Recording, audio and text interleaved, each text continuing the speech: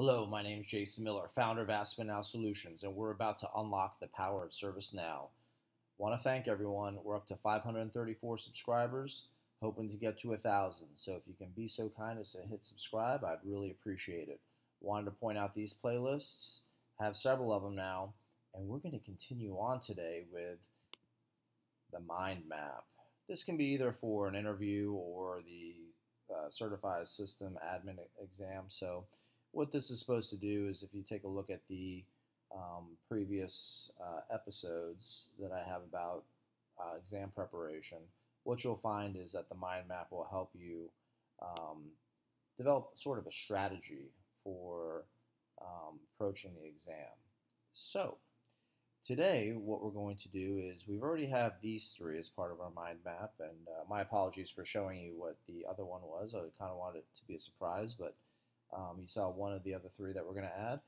And um, I'm going to show you also within the tool how to visualize it too. Because I uh, have experienced two types of schools of thought on how to prepare for exams.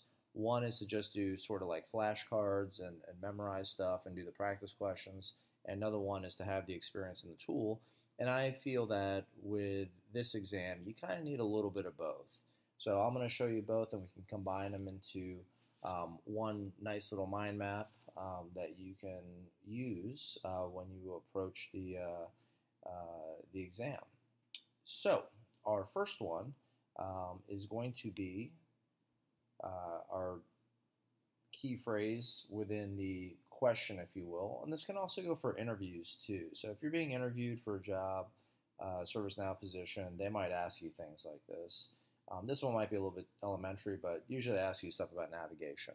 But this one is basically 32 character um, graphic user ID, and basically sysid um, would be what they're referring to here.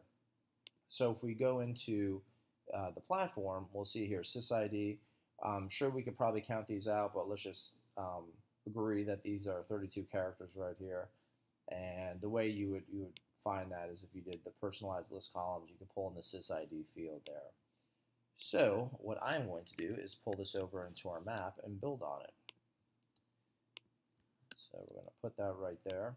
And again, I'm not sure if these will be on the on the exam themselves um, or um, uh, if this will be the exact phraseology. But these are the types of things that in the past um, I've experienced. Definitely in interviews, they'll ask you things like this.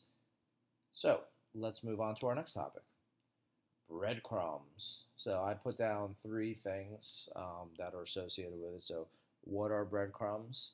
Um, it's a link, it's underlying text, and there are criteria, right, that we use to go ahead and filter. So, if you see right here, this right here is our, our breadcrumb.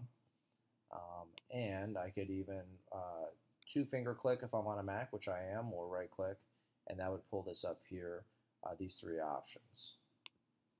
Um, also, one thing I forgot to mention was that with that sysid, um, I did a video on how to copy the sysid and the different places that you can find it, so you can refer to that video too.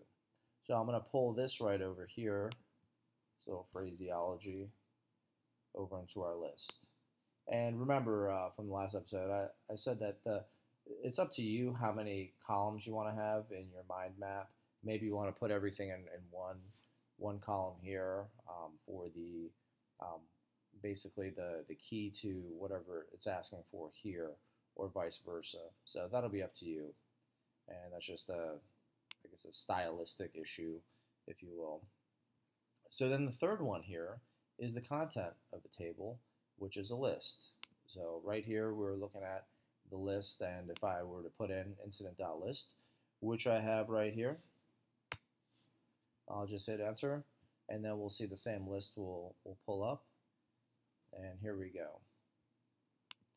And then I'm going to take this and copy it and put it over here.